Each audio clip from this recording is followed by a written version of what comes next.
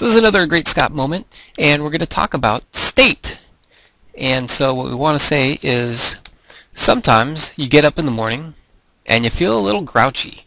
You're feeling like, hey, this is not what I wanted, this is not what my day is, and this is not how I want my day to go. And you know what?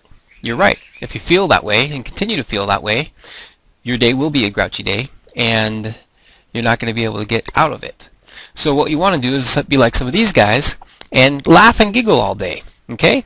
If you get a smile on your face, you can't be in a bad mood. Okay? You can't laugh and giggle when you're in a bad mood. Just try it. If you're having a grumpy mood, just put a smile on your face. And suddenly you start feeling laughter. You feel like, hey, you know, this is all right. I can handle this. And your day gets a little bit better. And so that's it for today. And I hope you enjoyed it.